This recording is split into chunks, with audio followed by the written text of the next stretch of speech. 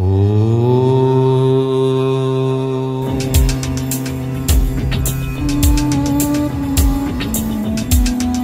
கொடுத்த தந்தைக்கும் உடல் கொடுத்த தாய்க்கும் தண்டமிக்கையை கொடுத்த தமிழுக்கும் நன்றியும் வணக்கத்தையும் தெரிவித்துக் கொண்டு வணக்கம் ஸ்ரீ டிவன் டிவி நேர்களே அனைவருக்கும் உலகத் தமிழர் அனைவருக்கும் இனிய தமிழ் புத்தாண்டு நல்வாழ்த்துக்கள்.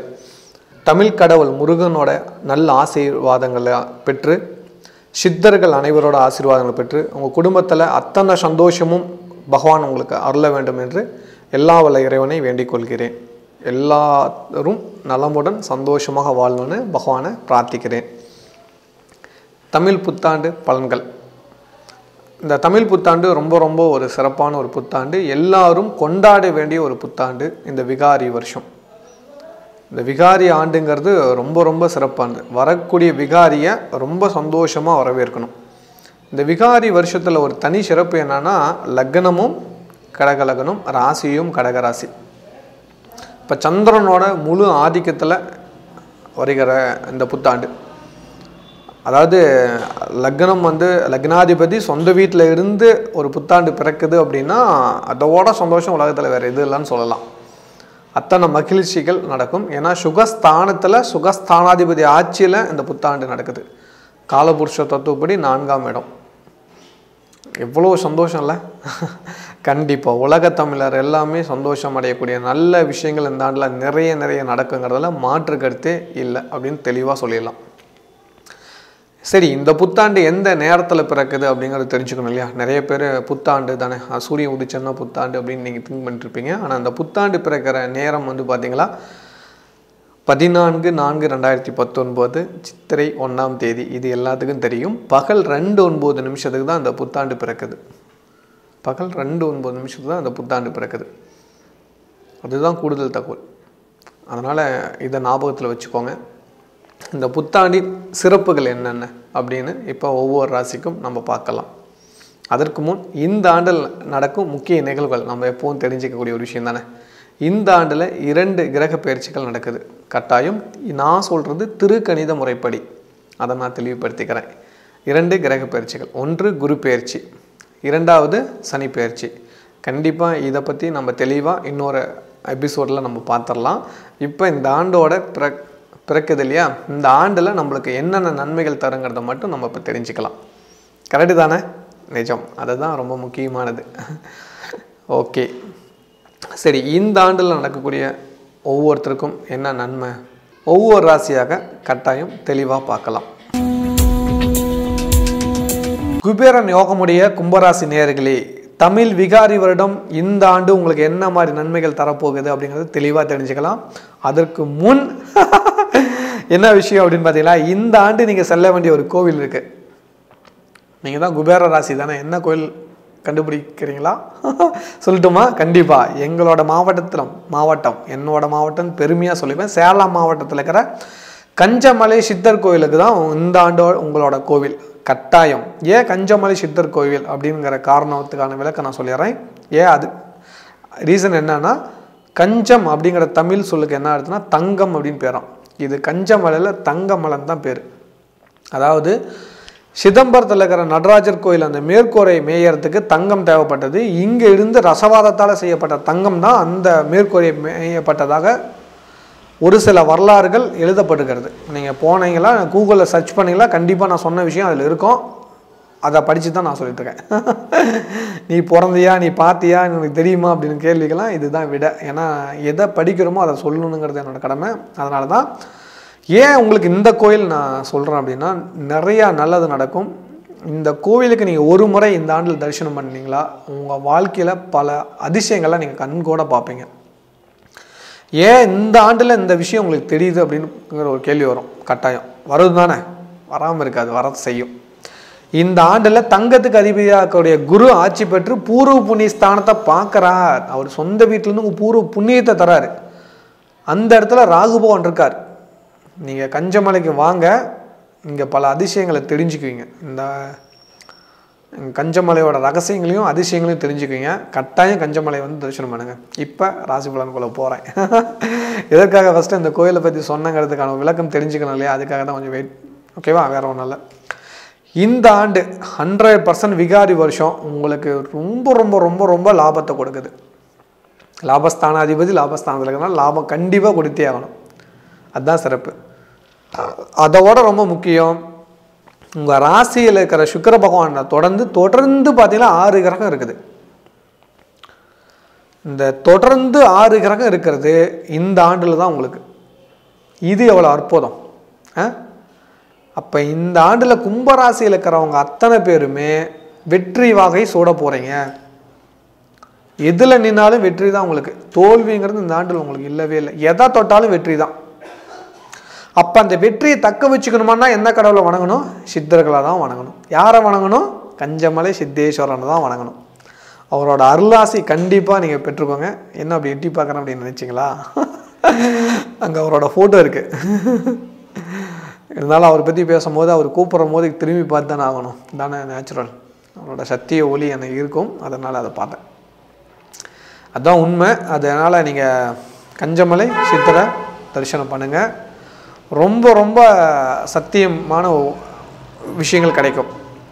வெளிநாட்டில் இருக்கிறவங்க எப்படியாவது இந்தியா வந்தீங்களா சேலம் வந்து கஞ்சமலை சித்திரை தரிசனம் பண்ணிக்கோங்க.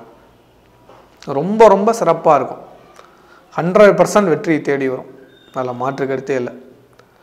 ஏன்னா இந்த ஆண்டில் நிறையா நல்லது நடக்கும். அதை மட்டும் எழுதி வச்சுக்கோங்க. உங்களுக்கு எதெல்லாம் தடையாக அதெல்லாம் நீங்கிருச்சுன்னு நினச்சிக்கோங்க. எதெல்லாம் சாதிக்கணும் அதெல்லாம் நடக்கும்னு நினச்சிக்கோங்க. கண்டிப்பாக நடக்குது. ஏன்னா இந்த ஆண்டு தொடக்கத்தில் தான் அத்தனை கிரகமும் தொடர்ந்து அப்படியே இருக்குது. அது ரொம்ப விசேஷங்க. தொடர்ந்து ஆறு கிரகம் இருந்தால் ரொம்ப ரொம்ப அதிசயம். பல அற்புதங்கள் நடக்கும். அதுதான் யோகம். இந்த யோகத்தை சரியான முறையில் பயன்படுத்துங்க. அது அதிகமான நன்மைகள் நடக்கும். சரிங்களா? அதோட ரொம்ப முக்கியமான ஒரு விஷயம் என்னென்னு பார்த்தீங்களா? சூரியன் உச்சம் பெற்றது எப்போவுமே சித்திரை மாதத்தில் உச்சம் பெறுவார் வருஷம் வருஷம் உச்சம் பெறுவார். இந்த ஆண்டு என்ன ஒரு சிறப்புனா அந்த உச்சம் பெற்ற சூரியனை குரு பார்க்கறது. லாபஸ்தானத்துலேருந்து குரு பார்க்குறாரு. அப்போ ஏழாம் இடத்து அதிபதியை குரு பார்க்கறது தொழிலில் பல வகையில் நன்மைகளை கொடுக்குது. அதை ப பயன்படுத்திக்கோங்க. இல்லத்தரசிகளுக்கு மகிழ்ச்சியான பல விஷயங்கள் நடக்கும். சந்தோஷம் கொடுக்கக்கூடிய பல இடங்களுக்கு போயிட்டு வரீங்க. தொடர்ந்து ஆறு கிரகம் இருக்கிறனால நீண்ட காலமாக நினச்சிட்டு இருக்கிற நல்ல தகவலாம் நீங்கள் தெரிஞ்சுக்கலாம். உங்கள் குடும்பத்துக்காக இவ்வளோ காலம் ஓடா தேஞ்சு உழைச்சிங்களே அதுக்கான பாராட்டுகள் கிடைக்கும். இன்னும் நீங்கள் அதிகம் உழைக்கணும் அப்படிங்கிறது தான் உண்மை. உங்கள் குடும்பத்தோட வரவு செலவு கணக்கை கண்டிப்பாக எழுதி பாருங்கள் உங்கள் குழந்தைய கூட உட்காந்து பேசுங்கள் இந்த விகாரி வருஷத்தில் உங்கள் குழந்தைங்களுக்கு என்ன நடக்கணும்? இந்த ஆண்டில் என்னென்னப்பா நடக்கணுங்கிறத உங்கள் குழந்தையோட ஆசையெல்லாம் எழுதுங்க. உங்கள் வீட்டுக்காரர் ஆசையும் எழுதுங்க. உங்கள் குடும்பத்தில் இருக்கிற நபர்களோட ஆசையும் எழுதுங்க. அதற்கு நீங்கள் என்ன மாதிரி எஃபெக்ட் போடணும் அப்படிங்கிறத ஒரு டேட்டாவாக எழுதுங்க. இந்த தமிழ் புத்தாண்டில் எல்லாரும் இதை தெரிஞ்சுக்கணும். இதுதான் ரொம்ப முக்கியம். ஆண்டு ஆண்டு பிறக்குது ஏதோ பிறக்குது அப்படின்லாம் போகக்கூடாது. இந்த ஆண்டில் இந்த உறுதிமொழி எடுக்கணும். இதற்கெல்லாம் எங்கே நேரம் இருக்குதுன்னா உங்களுக்கு எது அதெல்லாம் வேஸ்ட்டாக உங்கள் டைம் ஒதுக்கிட்டு இருக்கிறீங்களோ அதை குறைங்க. ஞாபகம் இல்லையா? நாடகம் பார்க்குறத குறைங்க. டிவி சீரியல்லாம் வேண்டாம். இந்த ஆண்டுலேருந்து குறைச்சிக்கோங்க. முடிந்த அளவு குறைங்க. அதை பார்க்கறதுனால கடுகளவு உங்களுக்கு எந்த நன்மை இல்லை அப்படின்னு தெளிவாக நான் சொல்லுவேன். அதனால் இது எனக்கு என் குடும்பத்துக்கு இது நன்மை நடந்துக்குன்னு சொல்லுங்கள் நான் ஒத்துக்கிறேன். பாருங்கன்னு. இதனால் நூறு மடங்கு கெடுதல் நடந்திருக்குன்னு நான் சொல்லுவேன். நான் சொல்லலை உங்கள் குடும்பத்தில் இருக்கிற எல்லாரும் சொல்லுவாங்க. இது சத்தியமான வாக்கு. கெட்ட விஷயம் எதுக்கு நம்மளுக்கு? நம்ம பொன்னான காலம் நம்ம குடும்பத்துக்காக யோசிக்கணும். நம்ம குடும்பத்தில் என்ன தேவை நம்ம குடும்பத்தில் உறுப்பினருக்கு என்ன செய்யணும் அப்படிங்கிறத தெளிவாக தெரிஞ்சுக்கோங்க. இந்த ஆண்டில் குடும்ப நபர்களோட ஒரு முறையாவது சட்டசபைக்கு போய் பாருங்கள் சட்டசபை கூடுற காலத்தில் போங்க. அங்கே என்ன தான் பேசுகிறாங்க என்ன தான் செய்கிறாங்க ஒரு நாள் போய் பார்க்கலாமே ஒன்றும் தப்பு இல்லையே. பார்க்கலாம். இன்னும் அதிக தூரம் இல்லை சென்னை தான். போய் பாருங்கள் குழந்தைங்களை கூட்டிகிட்டு போங்க. நீங்கள் எந்த சென்னையிலே இருக்கிறவங்களாம் இன்னும் ஈஸி குடும்பத்தோடு ஒரு நாள் போய் உட்காந்து பாருங்கள் நீங்கள் செலக்ட் பண்ண எம்எல்ஏ எல்லாம் என்ன தான் பேசுகிறாங்க உங்கள் உங்களுக்காக என்ன பேசுகிறாங்க உங்கள் குழந்தைக்காக என்ன பேசுகிறாங்க உங்கள் எதிர்காலத்துக்காக அவங்க என்ன தான் பேசுகிறாங்கன்னாலும் தெரிஞ்சுக்கலாம். இதெல்லாம் தெ- தெரிஞ்சுக்கலாம். அந்த மாதிரி இடங்களுக்கு கூட்டிகிட்டு போங்க. அதே போல் முன்னோர்களோட இடத்துக்கு உங்களோட பூர்வீக இடத்துக்கெல்லாம் கூட்டிகிட்டு போங்க. நீங்கள் வெளியே இடங்களில் இரு- இருக்கிறீங்க அப்படின்னா உங்களோட நீங்கள் வாழ்ந்த வீட்டுக்கெல்லாம் கூட்டிகிட்டு போங்க. உங்கள் சொந்தக்காரங்க வீட்டுக்கெல்லாம் கூட்டிகிட்டு போங்க. அதே போல் உங்களோட கனவுகளை அதில் எழுதுங்க இந்த ஆண்டில். இதெல்லாம் செய்யுங்க. இதுக்கெல்லாம் நேரம் ஒதுக்குங்க. நிறையா நல்லது நடக்கும். கண்டிப்பாக இந்த உறுதிமொழி இந்த ஆண்டு எடுக்கலாமா? இதை ஏன் சொல்கிறேன்னா ஏன்னா உங்கள் குடும்பத்தில் ஒருத்தராக இருந்து அந்த உரிமையோடு சொல்கிறேன் ஏன்னா உங்கள் குழந்தைங்களுக்கு ஒரு தாய் மாமானா அப்படிங்கிற ஒரு அங்கீகாரத்தில் எடுத்துக்கிட்டு அந்த அதிக பிரசங்கிதனத்தில் இதை நான் சொல்லிகிட்ருக்கேன் தப்பு இல்லை அப்படின்னா நீங்கள் கமெண்ட் போடுங்க. இதெல்லாம் பேசக்கூடாதுனாலும் கமெண்ட் போடுங்க நான் தெரிஞ்சுக்கிறேன். ரெண்டுக்கும் உங்களுக்கு உரிமை உண்டு. கண்டிப்பாக எல்லா விஷயத்துக்கும் அனைவருக்கும் உரிமை உண்டு. அதில் தப்புங்கிற விஷயம் எதுவுமே இல்லை. நான் அதில் தெரிஞ்சுக்குவேன். ஓ நான் பண்ணுறது சரியா தப்பான்னு. எனக்கு ஒரு விஷயம் வேணும் இல்லையா? நான் பாட்டு எதையோ ஒன்று சொல்லிவிட்டு அடுத்தடுத்து உங்களுக்கு இதெல்லாம் கொண்டு போகக்கூடாதுல்ல சரியான விஷயம் தான் நான் சொல்கிறேங்கிறதுல எனக்கு ஒரு இன்ஃபர்மேஷன் வரணும். நிறைய பேர் நிறையா கமெண்ட் போட்டுட்ருக்காங்க ஹண்ட்ரட் பர்சன்ட் நிறையா பேர் எனக்கு பாசிட்டிவான விஷயங்கள் சொல்கிறாங்க அந்த தைரியத்தில் தான் இதெல்லாம் பேசிகிட்டு இருக்கேன். அதனால் நீங்கள் கொடுத்த சுதந்திரம் தான் இதெல்லாம்.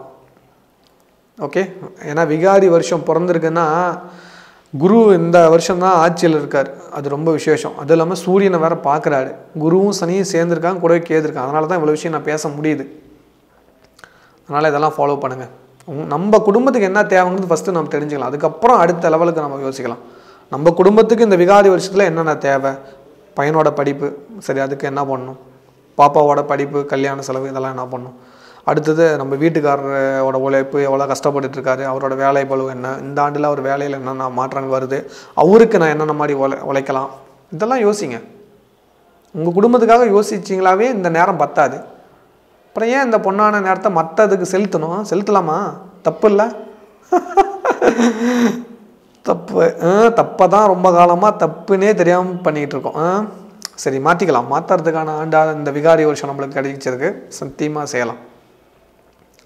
ஓகே நல்லது. அதுக்கு அடுத்தது வேலைக்கு செல்லும் சகோதரிகளுக்கு கட்டாயம் ப்ரொமோஷன் காத்திருக்குது. ஹண்ட்ரட் பர்சன்ட் உண்மை. அரசாங்க வேலை தேவைன்னு ஆசைப்பட்டீங்கன்னா இந்த டைம் முயற்சி பண்ணுங்கள் கட்டாயம் கிடைக்கும். மாற்று கருத்தே இல்லை. லாபஸ்தானத்தில் குரு இருக்கிறது ரொம்ப விசேஷம். லாபம் இருமடங்காக கிடைக்கும். அதை யூஸ் பண்ணிக்கோங்க. கன்னி பெண்கள் கன்னி பசங்களுக்கு. இது ரொம்ப ரொம்ப சிறப்பான காலம். கல்யாணம் கட்டாயம் நடக்குது. கஞ்சமலை சித்திர கோயிலுக்கு ஒரு முறை வந்துட்டு போங்க. ஈஸியாக அது நடக்கும். பகவான் நடத்தி கொடுத்துருவாங்க ஒன்றும் பிரச்சனைகள் இல்லை. அதற்கும் அடுத்ததாக சொல்லக்கூடியவங்க தான் ரொம்ப முக்கியமானவங்க மாணவர்கள். மாணவர்களுக்கு கட்டாயம் இந்த ஆண்டில் ஒரு விகாரி வருஷத்தில் ஒரு உறுதிமொழி எடுங்க. அரசாங்க கல்லூரியில் தான் படிப்புன்னு உறுதிமொழி எடுங்க. உங்கள் பெற்றோர்கிட்ட இதை வழியாக இதை தெளிவாக சொல்லுங்கள் ஒரு சில பெற்றோர்கள் இல்லைப்பா நீ இந்த காலேஜில் தான் படிக்கணும். நான் உனக்கு ஒரு நான் உதாரணத்துக்கு ஒரு லட்ச ரூபாயிலேருந்து ஆரம்பிக்கலாமே. ஒரு லட்ச ரூபாயிலேருந்து பத்து லட்ச ரூபா வரைக்கும் நீ கல்லூரி செலவாகனா அந்த பணத்தை நீங்கள் அப்படியே வாங்கி ஒரு தொழில் தொடங்குங்க கட்டாயம் வெற்றி பெறுவீங்க. நிறையா கடைகள் பார்த்தீங்களா நம்ம தமிழ்காரங்களை தவிர மற்றவங்க நிறைய பேர் இருக்காங்க. இது நான் யாருனாலும் வரலாம். இந்தியாவில் அது சம உரிமை இருக்குது நான் இல்லைன்னு சொல்ல அந்த வாய்ப்பை நம்ம ஏன் நம் நம்மளே இங்கே எடுத்துக்கலாமே? நம்மளே கடை வச்சுக்கலாம் நம்மளே பிழைக்கலாம் நல்லா இருக்கலாம். ஏன் நம்ம இன்னொருத்தரை அனுமதிச்சுட்டு நம்ம வேலை இல்லாமல் வேலை இல்லாமல் இருக்கிறதுக்கு காரணம் நம்ம மொத்த பணத்தையும் கொண்டு போய் வேற ஒருத்தர் கொடுத்துட்றோம் அதனால தான் இந்த நம்ம தொழில் பண்ண முடியாமல் கூட படித்து முடிச்சுட்டு தொழில் சொந்தமாக தொழில் பண்ணலான்னா பணம் இல்லை. ஏன்னா படிக்கிறதுக்கே பத்து லட்சம் செலவாச்சு நான் எங்கப்பா போவோம் அப்படிங்கிறீங்க. அந்த பத்து லட்ச ரூபா நீ ஏன் தேவையில்லாமல் செலவு பண்ணிட்டு இருக்கிற? அந்த படிப்பு படிக்கிறதுக்கு அந்த பத்து லட்ச ரூபா வச்சு நீ தொழிலை தொடங்கி ஒருத்தரை வேலைக்கு வச்சுட்டு நீ கவர்மெண்ட் காலேஜில் போய் படி. படிக்க வாய்ப்பு இருக்கு. நான் படிக்கிற படிப்பு கவர்மெண்ட் காலேஜ் இல்லை. நீ எழுதி போடு. இந்த இந்த படிப்பு எனக்கு தேவைன்னு அரசாங்கத்துக்கு எழுதி போடு. கோரிக்கையை வை. கண்டிப்பாக நடக்கும். நாம் எதையுமே கேட்காம நடக்கணும் நடக்கணும் அரசாங்கம்லாம் பண்ணாதான் வரணும் அப்படின்னா ஒத்துக்குமா? வேண்டாம். நாம் முயற்சி பண்ணலாம். இந்த விகாரி வருஷத்தில் இந்த நல்ல தகவலை நாம் தெரிஞ்சுக்கலாம். கட்டாயம் இதை நாம் செய்யலாம். மாணவர்கள் நினச்சா எல்லாமே நடக்குங்க. ஒன்றும் தேவையில்ல. உங்கள் காலேஜ் படிக்கிற மாணவனுக்கு நீ ஒரு சின்னதாக ஒரு மளிகை கடை வச்சுக்கோ. டே உங்களுக்கெல்லாம் உங்கள் குடும்பத்துக்கு வாரத்துக்கு என்னடா தேவை? சொல்டா நான் என் வண்டியிலேருந்து அனுப்பிச்சி சொல்லு. ஒரு ஆட்டோ ஒருத்தனை வாங்க சொல்லு ஒருத்தனை கடையை வைக்க சொல்லு ஒருத்தன் சொந்தக்கார பையனை வேலைக்கு வைக்க சொல்லு. இப்போ ஒரு பத்து பேத்துக்கு ஒரு மளிகை கடை வச்சுக்கலாம் வரும். உங்கள் காலேஜில் இருக்கிற மாணவனோட குடும்பத்துக்கு நீ சப்ளை பண்ணாவே நீ பொழைச்சிக்கலாம். உதாரணத்துக்கு இது. இது நான் உதாரணத்துக்கு தான் சொல்கிறேன் இதே பண்ணுங்கிறதுல. இதை நீங்கள் எக்ஸ் நீங்கள் அப்ளிகேஷன் வச்சு நீங்கள் நீங்கள் இன்றைக்கெல்லாம் மொபைல் ஆப் வருது. ஒருத்தன் மொபைல் ஆப் கற்றுக்கோங்க எல்லாத்துக்கும் மொபைல் ஆப் பண்ணி கொடுங்க. இன்றைக்கி நிறையா விஷயம் இருக்குப்பா. நாம் தான் தெரியாமல் இருக்கிறோம். வாய்ப்பு நிறையா இருக்குது. உலகம் ரொம்ப பெருசு. தேவையும் ரொம்ப பெருசு. கற்றுக்கலாம் செய்யலாம். ஒன்றும் பிரச்சனை இல்லை. வாரத்தில் ஒரு நாள் லீவு நாள் தானே? ஞாயிற்றுக்கிழமை லீவு நாள் தானே வருது. அந்த நாள் எல்லாத்துக்கும் சப்ளை பண்ணுங்கள் பண்ணலாம் இல்லையா? செய்யலாமா? செய்யக்கூடாதா? செய்யலாம் தானே? சத்தியமாக செய்யலாம். இதை நீங்கள் நினச்சா மாறும். உங்கள் காலேஜில் முப்பத்தஞ்சு பேர்னா முப்பத்தஞ்சு குடும்பத்துக்கு மளிகை சாமான் வாங்கி கொடுத்தாவே நீ பொழைச்சிக்கலாம் தம்பி. யோசிச்சு பாரு. உதாரணத்துக்கு நான் ஒரு விஷயம் சொல்லுங்க மல்லிகா. கூட குடும்பத்துக்கு என்னென்ன தேவைன்னு எழுதினாவே அத்தனை விஷயம் நீ ஃபாலோ பண்ணிக்கலாம். ஒரு கல்லூரி நீ கவர்மெண்ட் கல்லூரியில் படிச்சுட்டே மத் எல்லா சம்பாதனையும் சம்பாதிச்சுட்டு நீ நல்லா இருக்கலாம். இது ஒரு சின்ன உதாரணம் தான். நீ யூஸ் பண்ணிக்கோ. கஞ்சமலை சித்தர் நினச்சா தொழில் பற்றின ரகசியம் தெரிஞ்சிருச்சா? நல்லது. கற்றுக்குங்க நல்ல விஷயம். எதையுமே முடியாதது ஒன்றும் இல்லை தம்பி. அதெல்லாம் நடக்கும். முயற்சி மட்டும்தான் தேவை. உழைப்பு மட்டும் தேவை. உழைச்சா ஹண்ட்ரட் பர்சன்ட் ஜெயம். உழைக்க தயாராக இருந்தால் போதும். அதை கற்றுக்குங்க கண்டிப்பாக நம்ம ஜெயிப்போம். வியாபாரிகளுக்கு ஹண்ட்ரட் பர்சன்ட் இது மேஜிக்கான லாபம் கிடைக்கும். ஏன்னா குருவோட ஆசீர்வாதங்கள் பரிபூர்ணமாக இருக்குது. அதிக வெற்றிகள் கிடைக்குது. சந்தோஷமாக எடுத்துக்கோங்க ஒரே ஒரு விஷயத்தில் மட்டும் கொஞ்சம் கவனம் செலுத்துங்க. என்ன விஷயம் அப்படின்னு பார்க்குறீங்களா சொந்த பந்தங்கிட்ட பழகும் போதும் புதிய ஒரு அறிமுகமாகிற விஷயத்தில் நடந்துக்கும் போதும் கொடுக்கல் வாங்கல மட்டும் கொஞ்சம் கவனமாக இருந்துக்கோங்க. மற்றபடி எந்த பிரச்சனையும் இல்லை. இந்த ஆண்டு நீங்கள் வணங்க வேண்டிய கடவுள் கஞ்சமலை சித்தர் கோயில் இது எங்கே இருக்குன்னா சேலம் மாவட்டத்தில் தான் இருக்குது. மறக்காமல் ஒரு முறையாவது தரிசனம் பண்ணுங்கள் கஞ்சமலை சித்தரோட அருளாசி அப்படியே உங்களுக்கு கிடைக்கணும்னு அவர் பாதத்தை தொட்டு வணங்கிக்கிறேன். உலக தமிழ் அனைவருக்கும் இனிய தமிழ் புத்தாண்டு நல்வாழ்த்துக்கள். மீண்டும் எதற்கு தமிழ் புத்தாண்டு வாழ்த்துக்கள்னா இந்த பதினான்கு நாலு ரெண்டாயிரத்தி பத்தொன்பது அன்று தான் விரைவில் திருமணம் நடக்க திருமண தடைகளை நீக்கும் பிரம்மாண்ட ஒரு யாகம் மிக மிக சிறப்பான ஒரு யாகம் ஏற்பாடு பண்ணியிருக்கோம். திருமண தடையால் கஷ்டப்பட்டு இருக்கிறவங்களுக்கு இது ஹண்ட்ரட் பர்சன்ட் உதவி பண்ணும். அதில் ஒரு மாற்று கருத்தும் இல்லை. ஏன்னா திருமணம் அப்படிங்கிறது ஆயிரம் பேரிடம் போய் சொன்னால் தான் திருமணம் நடக்கும். அதை தான் ஆயிரம் பொய் சொல்லிமாங்க அப்படி இல்லை ஆயிரம் பேரிடம் போய் சொல்லி போய் சொல்லணும். ஆயிரம் பேர்த்துக்கிட்ட போய் சொல்லணும். இந்த மாதிரி கல்யாணம் அப்படின்னு. அந்த ஆயிரத்தில் ஒருவனாக நான் உங்களுக்கு உதவி பண்ணுறேன் இந்த யாகம் முழுக்க முழுக்க உங்களுக்கான யாகம். திருமணம் தடைகளை நீக்கக்கூடிய அத்தனை ஹோமங்களும் அங்கே நடக்கும். இந்த விஷயங்கள் மூணு விதமாக நாங்கள் பிரிச்சிருக்கோம். ஃபஸ்ட்டு பார்த்து பார்த்திங்கன்னா காலையில் ஒன்பது மணிலேருந்து யாகம் தொடங்கும். பன்னெண்டு மணி வரைக்கும் இந்த யாகம் இருக்கும். இந்த திருமண தடை நீக்கிறதுக்காக என்னென்ன யாகங்கள் இருக்கோ அத்தனை யாகமும் இருக்கும். அதை சொல்லணுமா? சொல்லிட்டா போச்சு. கணபதி ஹோமம் நடக்குது நவகிரக ஹோமம் நடக்குது மகாலட்சுமி ஹோமம் சுயவராகலா பார்வதி ஹோமம். திருமணம் தடை நீக்கிறதுக்கு அந்த ஹோமம் ரொம்ப ரொம்ப முக்கியமான ஹோமம். அதுக்கப்புறம் ரொம்ப அதுக்கடுத்து ரொம்ப முக்கியமான ஹோமம் தான் சர்வ மங்கள ஹோமம். அது மங்கள காரியங்களை தடையெல்லாம் நடத்தி கொடுக்கும். அதுக்கப்புறம் சர்ப சாந்தி ஹோமம் நாகதோஷம் பூர்வ புண்ணிய தோஷம் இதெல்லாமே சர்பத்தால் ஏற்படக்கூடிய தோஷங்களும் தடைகளும் அந்த சர்ப சாந்தி ஹோமத்தில் நடக்கும். அதுக்கப்புறம் நடக்கக்கூடிய ஹோமம் தான் துஷ்ட கிரக சாந்தி ஹோமம். ஏதாவது ஒரு கிரகம் அதை தடுக்குது அப்படின்னா அதோட சாந்தி பண்ணுற ஹோமம் நடக்குது. அதுக்கப்புறம் காளி துர்கா ஹோமம் நடக்குது. அதுதான் ரொம்ப விசேஷம். அது ஏன் நடக்குதுங்கிறது அங்கே நீங்கள் வந்தால் நீங்கள் தெரிஞ்சுக்கலாம். அதில் ஒரு சூட்சமம் சொல்கிறேன் கண்டிப்பாக அதுக்கப்புறம் ரொம்ப முக்கியமாக ஆயுள்ய ஹோமம். ஏன்னா தீர்க்க ஆயுளோடு இருக்கணுங்கிறதுக்காகவே அந்த ஹோமம் செய்கிறோம் இத்தனை ஹோமமும் ஒரு சேர ஒரே இடங்கள்ல நடக்குது. சரி இந்த ஹோமம் நடந்ததுக்கு அப்புறம் கலச அபிஷேகம் நடக்கும். கட்டாயம் கலசாபிஷேகம் நடக்கும். அது ரொம்ப சிறப்பாக இருக்கும் அந்த கலசாபிஷேகம் அதுலேயும் ஒரு சூட்சமம் இருக்குது. அந்த கலச அபிஷேகம் பண்ணுறவங்க ஒரு ஒரு சுபகாரியம் நடக்கும். அவங்க அந்த விஷயம் பண்ணாங்களா அவங்களுக்கு அத்தனை நல்லதும் நடக்கும் அப்படிங்கிறதுல மாற்று கருத்தில் அவங்க அதை அந்த கலசாபிஷேகத்தை அவங்கக்கிட்டேருந்து அந்த கலசாபிஷேகம் வாங்கிட்டீங்களா அதோட ஒரு புனிதம் வேறு ஒன்றும் இல்லை அப்படின்னு நான் சொல்லுவேன். ஏன்னா அதோட அது ஒரு மேஜிக் அதை நீங்கள் வந்தால் தான் தெரிஞ்சுக்க முடியும். ஓகேவா ஓகே ரெண்டு விஷயம் சொல்லிட்டேன். ஃபஸ்ட்டு ஹோமம் சொல்லிட்டேன். அதுக்கப்புறம் ஒரு கலச அபிஷேகம்ங்கிறது ரெண்டாவது ஒரு விஷயம். அந்த அபிஷேகம் ரொம்ப ரொம்ப சிறப்பு. அது எந்தெந்த அந்த அபிஷேகம்ங்கிறது அதில் ஒரு சில விஷயங்கள்லாம் இருக்குது ஒரு சில ரகசியங்கள்லாம் அனு நேரில் அனுபவிக்கணுங்கிறதுனால அது தடையாக இருக்கும். ஏன்னா எல்லாத்தையும் ஓப்பன் பண்ணி இது ஒரு வியாபாரம் இல்லை. இது பிராத்தம் இருக்கணும். கடவுளோட அனுகிரகம் இருக்கணும். உங்களுக்கு இந்த யாகத்தால் திருமண தோஷம் நீங்கன்னு விதி இருந்தால் தான் அதில் கலந்துக்கவே முடியும். கரெக்டு தானே? சும்மா கலந்துக்கிறதெல்லாம் அப்படிலாம் ஒன்றும் இல்லை. இதெல்லாம் பிரார்த்தனம் இருந்தால் மட்டும்தான் இதெல்லாம் கலந்துக்க முடியும். இதுதான் நேச்சுரல் தான் உண்மையும் கூட இயற்கையோட சத்தியம் அதுதான் சொல்லுது. யாருக்கு பிரார்த்தம் இருக்குதோ யாருக்கு தோஷம் நீங்கணும்னு இருக்கோ அவங்க மட்டும்தான் அந்த யாகத்தில் கலந்துக்க முடியும். அவ்வளோ அற்புதங்கள் நிறைந்த ஒரு பூஜை தான் நாங்கள் செய்கிறது அதுக்கு அடுத்தது தான் ரொம்ப விசேஷமானது மகாவிஷ்ணு மகாலட்சுமி திருக்கல்யாணம். அதுவும் எத்தனை மணிக்கு ஸ்டார்ட் பண்ணுறோம் ஒரு மணிக்கு ஸ்டார்ட் பண்ணி ரெண்டரை மணிக்கு யாகம் முடியுது. மூணு மணி வரைக்கும் சொல்கிறோம் ரெண்டரை மணிக்கெலாம் தாலி கட்டிடுவாங்க. ஏன் அப்படின்னா ரெண்டு மணிக்கு தான் புத்தாண்டு பிறக்குது. இந்த விகாரி வருஷம் அன்று பகல் ரெண்டு மணிக்கு தான் பிறக்கிறார் ரெண்டு ஒன்பது நிமிஷம் தான் புத்தாண்டே பிறக்குது. அந்த புத்தாண்டு பிறக்கிற அந்த நொடியில் நீங்கள் என்ன செஞ்சிட்ருக்கீங்க? ஒரு கல்யாணத்தை தரிசனம் பண்ணிட்டு இருக்கீங்க யாரோட கல்யாணம்? மகாவிஷ்ணு மகாலட்சுமி. இவங்க கல்யாணத்துக்கு யாரெல்லாம் வருவாங்க முக்கோடி தேவர்களும் வருவாங்க. இதுதான் அந்த கல்யாணத்தோட தனி சிறப்பு. அப்போ அத்தனை தேவர்களும் அங்கே வந்தாங்களா என்ன செய்வாங்க? ஆசீர்வாதம் பண்ணுவாங்க. அவங்கள மட்டுமா ஆசீர்வாதம் பண்ணுவாங்க? அங்கே யாரெல்லாம் இருக்காங்களோ அவங்களுக்கும் ஆசீர்வாதம் உண்டு. கரெக்டு தானே? அப்போ உங்கள் குடும்பத்தில் இருக்கிறவங்க அங்கே இருந்தால் எவ்வளோ நல்லது. அந்த ஆசீர்வாதங்களை பெற்று அருள் அந்த அருளாசியை நீங்கள் பெற்றுட்டு அந்த பலம் தானே உங்களுக்கு அடுத்த வளர்ச்சியை கொடுப்பாரு. கரெக்டு தானே? நிஜம். அந்த ஒரு விஷயம் ஏற்பாடு பண்ணியிருக்கோம். அதுதான் ரொம்ப சிறந்தது. அதோட ஒரு முக்கியமான ஒரு மூலிகை பொருள் உங்கள் கூடவே கொடுத்து விட்றோம் அதுவும் நான் சொல்ல மாட்டேன். என்ன சார் எதுவுமே சொல்ல மாட்டேங்கிறீங்க அப்படின்னு ஒரு கேள்வி வரதான் செய்யும். இது வியாபாரம் இல்லைன்னு மீண்டும் நான் சொல்லிக்கிறேன். ஏன்னா நிறைய பேர் நினச்சிட்டு இருக்கலாம்.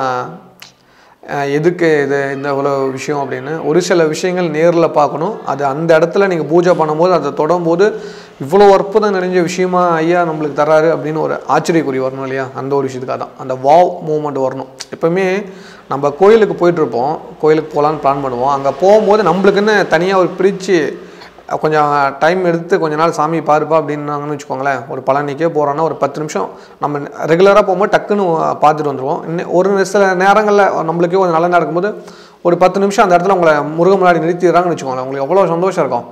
ஆஹா இவ்வளோ நேரம் நிறுத்திடுறாங்களே. இவ்வளோ நேரம் ஒரு சாமி தரிசனம் பண்ணுறோமே இவ்வளோ சந்தோஷம் கொடுத்துருக்குதே. அந்த மாதிரி அந்த வாவ் மூமெண்ட் வேணும்னா ஒரு சில விஷயங்கள் அங்கே வந்தால் தெரிஞ்சுக்கலாம். அது ரொம்ப ரொம்ப சிறப்பாக இருக்கும். ஏன்னா அதுக்கு நீங்கள தான் பூஜை பண்ணுறீங்க நீங்கள் தான் அங்கே யாகத்தில் வைக்கிறீங்க. யாகத்திலேருந்து சக்தி ஏற்றப்பட்டு திருமணத்தில் அந்த மறுபடியும் அந்த பூஜையில் கலந்துக்கிட்டு அந்த திருமணத்துலேருந்து அந்த பொருள் உங்கள் வீட்டுக்கு எடுத்துகிட்டு போகிறீங்க அதை நீங்கள் வீட்டில் வைக்கிறீங்க. உங்கள் திருமணம் நடக்கிற வரைக்கும். அதுதான் ரொம்ப விசேஷம். இந்த பூஜையில் உங்களுக்கு கட்டக்கூடிய ஒரு கயிறு ரொம்ப விசேஷம். அதுதான் ஒரு காப்பு கட்டுறது. என்ன சொல்லி காப்பு கட்டுறது? ஆறு மாதத்துக்குள்ளே உங்களுக்கு கல்யாணம் நடக்கணுன்ட்டு அதாவது ஏன் சார் ஆறு மாதம் ஆகணுமான்னு ஒரு சில கொஷின் வரும். ஆறு மாதம் ஆகாது ஆறு மாதத்துக்கு உள்ளே நீங்கள் கிளம்புன அடுத்த மாதத்துலேயே கூட திருமணம் பண்ணலாம். அளவுக்கு அந்த சக்தி அங்கே இருக்கணும். அதற்காக தான் அந்த காப்புன்னு சொல்லுவாங்க இல்லையா? இந்த நேரத்தில் இந்த விஷயத்தை நடத்தியே தீரணும்னு சொல்லக்கூடிய ஒரு காப்பு கட்டுறதுன்னு ஒரு விஷயம் இருக்குது கரெக்டாக கரெக்ட் இல்லையா? அதுக்கு தானே காப்பு கட்டுவாங்க. கல்யாணத்துக்கு காப்பு கட்டுவாங்க. கோயில் திருவிழாவுக்கு காப்பு கட்டுவாங்க. ஏன்னா திருவிழா தேதி குடித்த உடனே காப்பு கட்டுவாங்க. ஏன்னா இந்த தேதியில் முடியுங்கிறது. அதை தான் நான் செய்கிறேன் ஏன்னா இந்த ஆறு மாதத்துக்குள்ளே அது நடந்தே தீரணுங்கிறத சொல்லி உங்களுக்கு காப்பு கையில் காப்பு கட்ட போகிறோம் அதை பத்திரமா பார்த்துக்கணும். சரி ஒரு சில பேர்த்துக்கு ஒரு கேள்வி வரும். இந்த காப்பு கட்டிக்கிட்டால் நான்வெஜ் சாப்பிட்றதா இதா அப்படின்னு. உங்களோட ரெகுலர் பழக்கத்துக்கு இதுக்கு சம்மந்தமே இல்லை. இது உங்கள் கூட இருக்கக்கூடிய தான். ஓகேவா இதுக்கும் அதற்கும் சம்மந்தம் இல்லை. அதனால் அதெல்லாம் நீங்கள் இது பண்ண தேவையில்ல. உணவு முறைக்கும் கடவுளுக்கும் சம்மந்தப்படுத்த தேவையில்லைங்கிறது என்னோட கருத்து. இதை நான் யாரையும் திணிக்க மாட்டேன். ஏன்னா என்னோடய வாழ்வியலில் நான் சொல்ல விஷயம் சரி மகான்கள் சொல்லிக் கூடக்கூடிய விஷயங்களும் சரி. அதாவது பார்த்திங்களா காட்டில் இருக்கிறவங்க வந்து என்ன பண்ணுவாங்கன்னா அவங்களோட உணவு வந்து மாமிசமாக தான் இருக்கும். காட்டில் இருக்கிறவங்களோட உணவு வந்து அதாவது ரொம்ப குறைவாக தான் தானிய உணவு இருக்கும். அதிகமாக மாமிச உணவுகள் தான் அவங்க பயன்படுத்தியிருக்காங்க. இதுதான் இன்றைக்கும் நிஜம். மாற்று கருத்து இல்லை. சொல்கிறவங்க சொல்லிக்கோங்க எனக்கு தப்பு இல்லை ஏன்னா நிஜம் இயற்கை அதை தானே சொல்லி கொடுக்குது நம்மளுக்கு. ம்? ஓகே தானே? அப்போ அவங்க கடவுளை வணங்க மாட்டாங்களா? கடவுள் அவங்களுக்கு ஆசீர்வாதம் தர மாட்டாங்கன்னா அவங்களுக்கும் கடவுள் ஆசீர்வாதம் கொடுப்பார். இதுதான் நிஜம். நீ யாராக வேணுமோ இருந்துக்கோ. நீ எதா வேணுமோ இருந்துக்கோ. இயற்கையை மதி. உன்னால் அடுத்தவங்களுக்கு தொந்தரவு வரக்கூடாது. உன்னால் நாலு பேர் நல்லா இருக்கணும். அதை மட்டும் செஞ்சேன்னா உனக்கு எப்போவும் நான் இருப்பேன் அப்படிம்பார். இந்த யாகத்துக்கு வந்துடலாம். இது நிறையா எங்கெங்கேயோ கொண்டு போயிடுச்சு. ஏன் இந்த விஷயம்லாம் சொல்கிறேன் அப்படிங்கிறீங்க கேட்குறீங்களா இந்த யாகத்தோட தன்மை இந்த திருமணம் தடை நீக்கங்கிறது சத்தியமான ஒரு உண்மை. இதில் நான் பெருமாள் ஏற்கனவே சொல்லியிருக்கேன் திருப்பதி போயிட்டு வந்து தான் உத்தரவு கொடுக்கணும்னு உத்தரவு கொடுத்துருக்காரு. அது எத்தனை நபருக்கு இது பண்ணலாம் அப்படின்னா முந்நூற்றி ஒன்பது நபருக்கு மட்டும்தான் என்னால் பண்ண முடியும் இந்த பூஜை. அதிக பேருக்கு பண்ண முடியாது. முந்நூற்றி ஒன்பது நபர் மட்டும் கலந்துக்கலாம். இது நேரடியாக மட்டும்தான் கலந்துக்க முடியும் இந்த யாகத்தில். இந்த பூஜையில் நேரடியாக மட்டும்தான் கலந்துக்க முடியும். அதுதான் அந்த யாகத்தோட தனி சிறப்பு. ரெண்டாவது எங்கள் ஃபேமிலியில் அந்த திருமணம் ஆக வேண்டிய பையனோ பொண்ணோ வெளியில் இருக்காங்க. நான் அவனுக்காக அப்பா அம்மா நாங்கள் வந்து பூஜை பண்ணலாம்னா கடுகளவு வாய்ப்பு இல்லை ஏன்னா அந்த ஜாதகன் யாரோ அவர் வந்து அந்த யாகத்தில் உட்காந்து அவருக்கான பிரார்த்தனையை அவர் செய்யணும். இதுதான் நிஜம். இதுதான் சத்தியம் கூட அப்போ தான் அது நடக்கும். அதனால் நேரில் கலந்த விருப்பம் இருக்கிறவங்க மட்டும் இதில் கீழே வாட்ஸ்அப் நம்பர் நான் கொடுத்துருக்கேன். அந்த நம்பருக்கு ஒரு மெசேஜ் போடுங்க. இந்த மாதிரி திருமண தடை நீக்கும் யாகத்தில் கலந்துக்கிறேன் அப்படின்னு சொல்லிட்டு உங்களுக்கான மற்ற தகவல்கள் நான் உடனுக்குடனே அனுப்புகிறேன் அதுலேயே ஒரு சில ரூல்ஸ் எல்லாம் இருக்குது. அதை நீங்கள் ஃபாலோ பண்ணணும். என்ன செய்யணும் அப்படிங்கிற ரூல்ஸோடு தான் இருக்கும். ஏன்னா இது ஒரு சாதாரண ஒர்க்காக நினச்சிடாதீங்க. கட்டாயம் திருமணம் தடை நீக்கிறதுக்கான அத்தனை வேலைகளும் அங்கே நடக்கும். ஒரு என்ன சொல்லலாம் அதெல்லாம் ரொம்ப ஓவராக சொன்னால் எனக்கே கூச்சமாக இருக்குது. இப்படிலாம் சொல்லணுமா? இவ்வளோலாம் சொல்லி தான் உங்களை கூப்பிடணுமா அப்படிங்கிறது இருக்குது அப்படிலாம் ஒன்று ஏன்னா ஒரு சில விஷயங்கள் ஒரு சில கடவுளோட அனுகிரகங்கள் இவரால் இது நடக்கும்னு ஒரு கடவுள் யாருக்கு விதி இருக்கோ அவங்க என்னை சந்திப்பாங்க. இதுதான் இந்த நொடி வரைக்கும் எனக்குள்ளே நடந்துட்டு இருக்கிற மேஜிக் நிறைய பேர் சொன்ன ஒரு விஷயம் அது உங்களை சந்தித்தா எனக்கு ஒரு நல்லது நடந்திருக்கு அப்படிங்கிற வார்த்தை தான் இந்த நொடி வரைக்கும் நான் அதை காப்பாற்றிட்டுருக்கேன் அதனால தான் இதை ரொம்ப பெருசாக பேசுகிறதுக்கு பேசக்கூடாதுன்னு உள் மனசு குத்திக்கிட்டு இருக்குது. டேய் எங்கே ஓவராக பேசிகிட்டு இருக்கிறேன் ரொம்ப அடக்கி நீ ஒன்றும் இப்போ எவ்வளோ தூரம்லாம் சொல்ல தேவையில்ல அவங்க வரும் அதனால் முந்நூற்றி ஒன்பது பேர் தான். எவ்வளோ குயிக்காக புக் பண்ணுறீங்களோ அவ்வளோ குயிக்காக புக் பண்ணிக்கோங்க. ஏன்னா இப்போ திருமணத்துக்காக முப்பது லட்சம் பேர் காத்திருக்காங்க. இந்தியாவில் முப்பது லட்சம் பேர் திருமணத்துக்காக காத்திருக்காங்கிறது ஸ்டேட்டஸ் சொல்லுது. ஒன்றும் தேவையில்ல. இது எப்படிப்பா உனக்கெல்லாம் தெரியுங்கன்னா தமிழ் மேட்ரிமோனி போய் பார்த்தீங்களா எத்தனை பேர் இருக்காங்கிறது? அசால்ட்டாக தெரிஞ்சுக்கலாம். அதுலேருந்து ஒரு முந்நூற்றி ஒன்பது பேரை கடவுள் எனக்கு அனுப்புறதுல ஒரு பெரிய விஷயமே இருக்காது. சரியா? அதனால் அந்த நபர்களில் ஒருத்தராக உங்கள் குடும்பத்துலேருந்து ஒருத்தர் வரணும்னு நான் ஆசைப்பட்றேன்.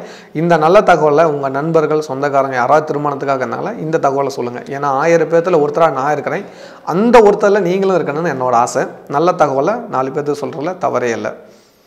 அனைவருக்கும் மீண்டும் தமிழ் புத்தாண்டு நல்வாழ்த்துக்கள். விகாரி ஆண்டு உங்கள் அனைத்து சந்தோஷங்களையும் கொடுக்கும் அப்படின்னு ஆண்டவனை பிரார்த்தனை பண்ணிக்கிறேன்.